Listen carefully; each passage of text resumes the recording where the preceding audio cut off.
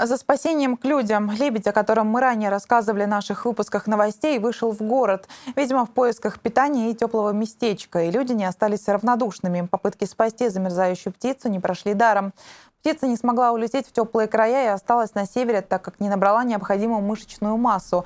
Уже больше недели лебедь обитает неподалеку от жилого квартала на авиаторов. Птица заметно исхудала. Сейчас ей всячески помогают неравнодушные горожане.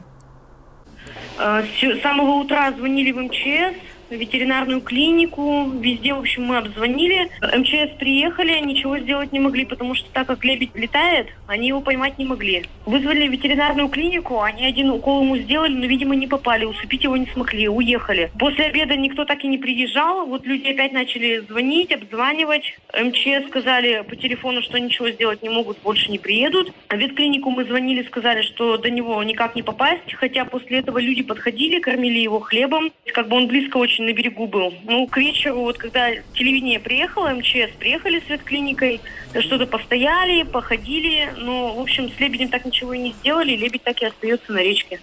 Да, тут очень много детей было днем, подходило, девочки чуть ли не плакали маленькие, потому что жалко, все понимали, что он замерзнет. И все-таки надеялись на ветклинику, чтобы хотя бы тут берег, тут не глубоко, и речка сама-то мелкая очень, то есть можно было близко подойти и попасть снотворным. Но так никто ничего второй раз не выстреливал, ничего так и не делали. И вот люди-то все обзванивали, даже дальних домов приезжали сюда специально посмотреть, вот что будет дальше. Как нам сообщили жители микрорайона авиаторов, приютить белого лебедя уже согласилась женщина, которая содержит свою конюшню. Теперь главное достать птицу из водоема. По словам орнитологов, если в ближайшее время птицу не спасти, она может погибнуть.